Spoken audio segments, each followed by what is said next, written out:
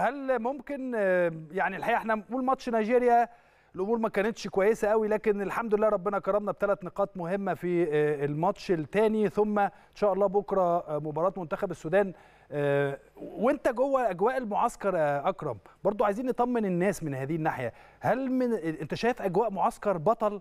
هل إحنا ممكن نصل للمباراة النهائية إن شاء الله ونقدر نفوز بهذه البطولة؟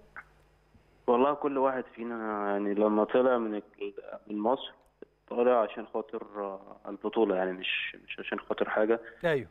آه، عادة كنت لما بتكلم في آه، في أي برنامج أو كده كنت أقول لهم إحنا بننزل الملعب بنموت نفسنا عشان خاطر الناس عشان خاطر الجمهور. نعم.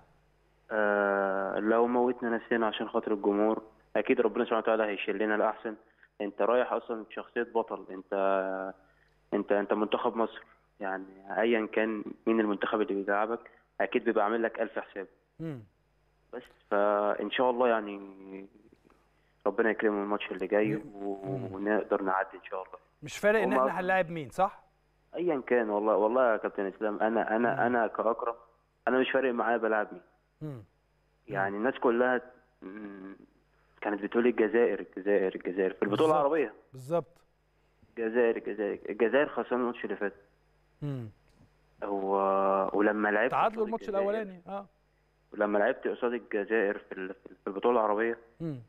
آه باستثناء اتنين كانوا غايبين أو حاجة.